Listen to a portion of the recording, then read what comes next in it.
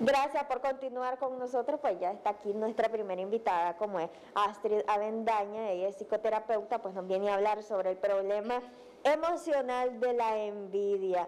Buenos días, Astrid, comentarnos un poco sobre este tema que es bien importante, diría yo. Y pues, ¿cómo saber, digamos, que para inicio, pues que la persona está teniendo algún tipo de envidia? Creo que se debe, digamos, de diferenciar los tipos de envidia, ¿sí? Buenos días, gracias por la invitación.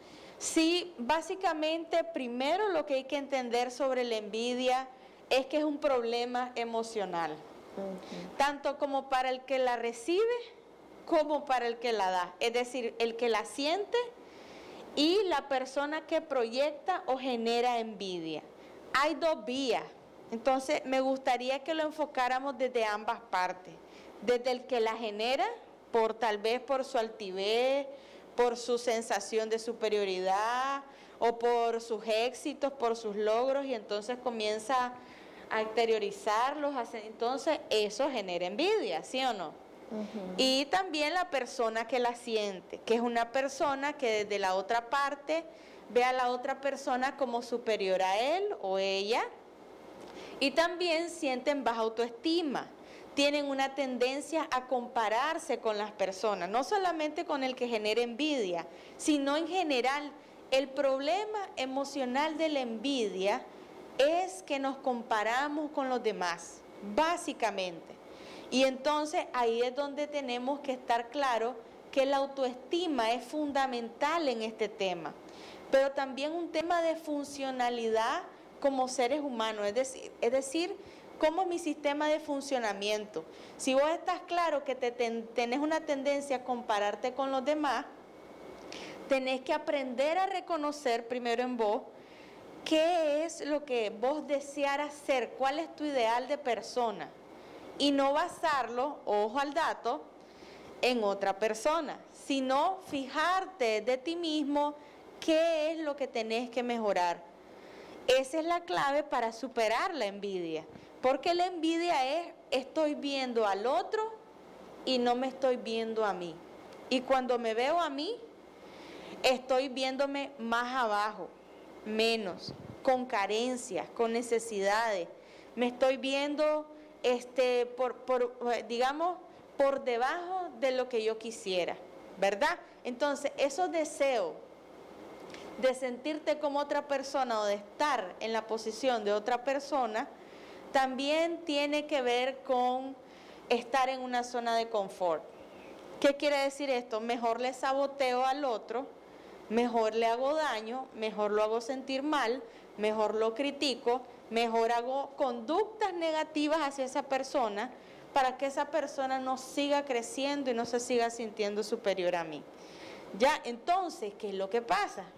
Pasa que la persona en vez de enfocarse en sí misma, comienza a querer sabotear el éxito, la grandeza y lo demás de la otra persona. Que es lo más común que Es lo más común de la envidia. Hay otro tipo de envidia y ahora quiero decir esto porque hay otro tipo de envidia que es positiva, porque eh, te lleva a superarte a vos mismo. Decir, ah, la que y la vida de ese maje tiene una casa de no sé cuántos cuartos, es de lujo, tiene éxito, gana tantos dólares. Y yo aquí, entonces, ¿qué es lo que vos haces? Te propones como un tipo de admiración por la otra persona. Te propones llegar y alcanzar también tu objetivo.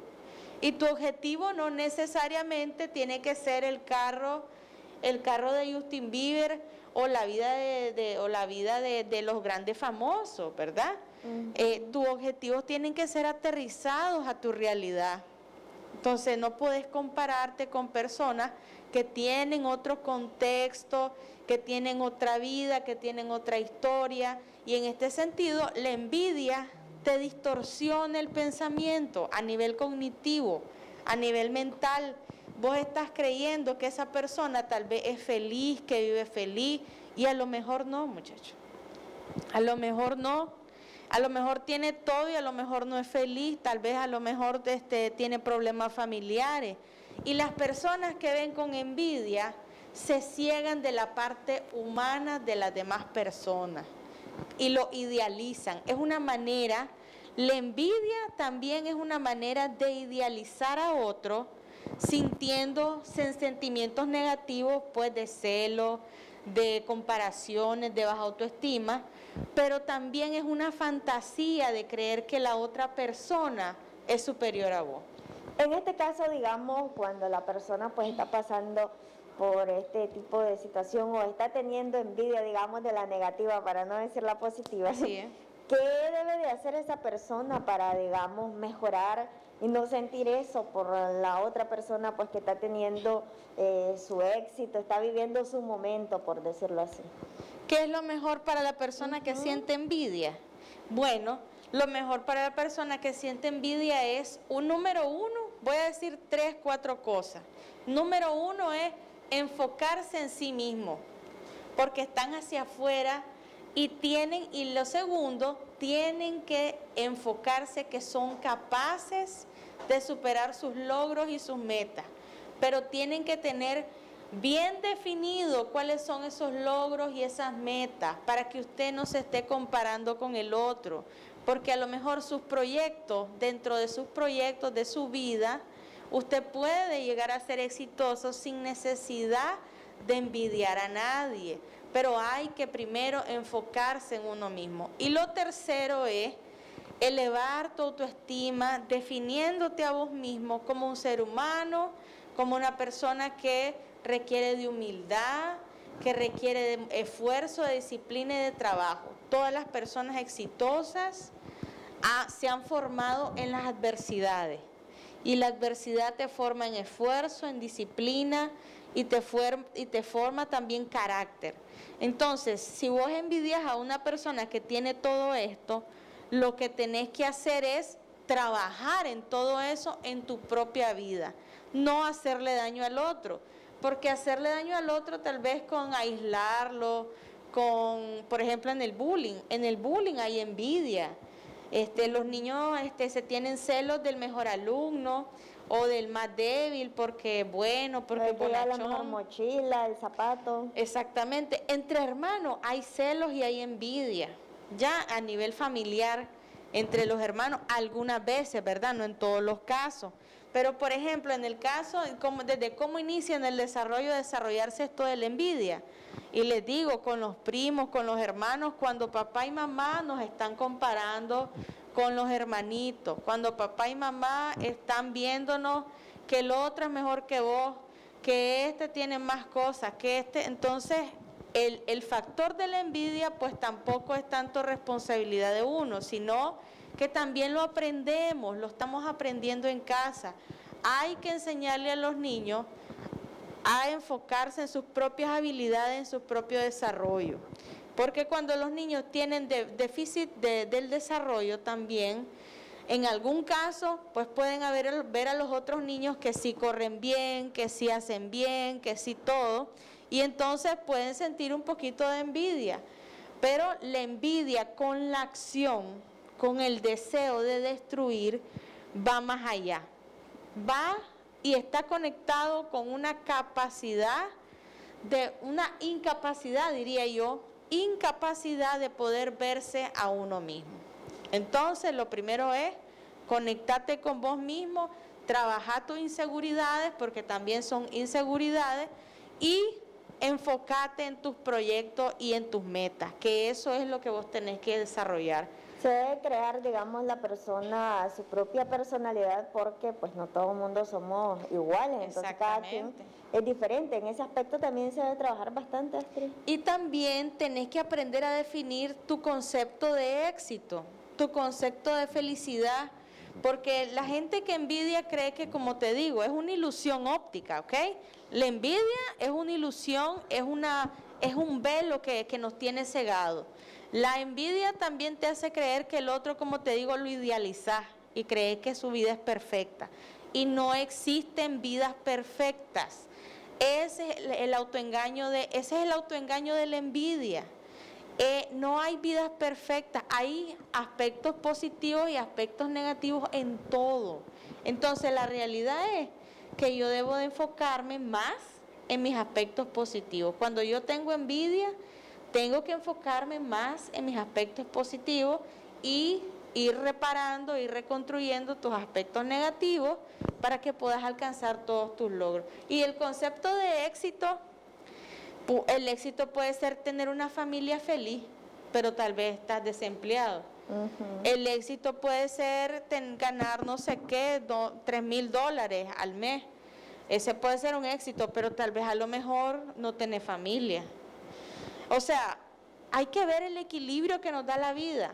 A veces tenemos de uno y a veces no tenemos del otro. Entonces tenemos que estar claros que la envidia idealiza a las personas y es una falsa admiración.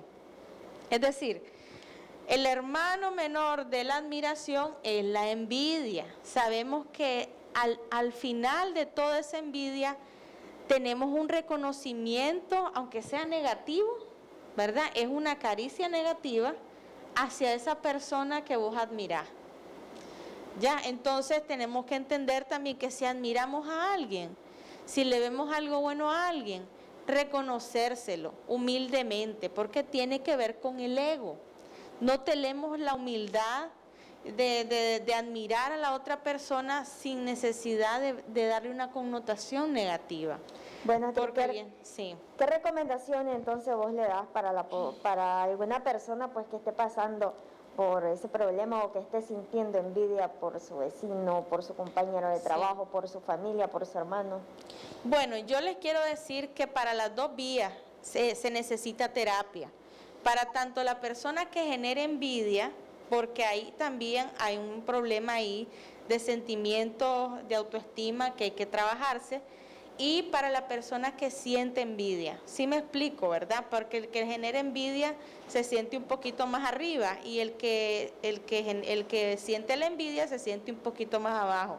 Entonces, de ambos lados hay que trabajar el autoestima. Y de ambos lados también hay que trabajar la conexión con uno mismo, con quien realmente es, con tu esencia, y también poder canalizar todas esas ilusiones y autoengaños de la mente que no te permiten ver claramente la realidad. Bueno, ¿dónde te pueden contactar para una mayor consulta?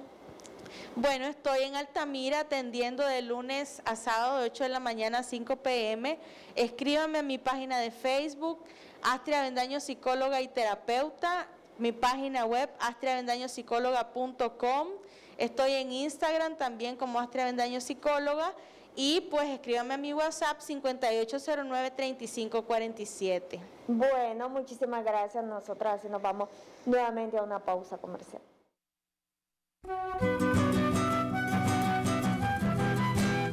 Reconocimientos, denuncias, quejas y sugerencias envíelas a Canal 12, programa Buenos Días Nicaragua, Residencial Bolonia, o llámanos a los teléfonos 2266-0691, 2266-9983, 2266-9984. Escríbanos a nuestro correo electrónico canal12 arroba canal12.com.ni. Redes sociales Facebook Noticias 12 Nicaragua, YouTube Canal 12 Nicaragua, Twitter arroba Canal 12 Nic. Visita nuestro sitio web www.canal12.com.ni.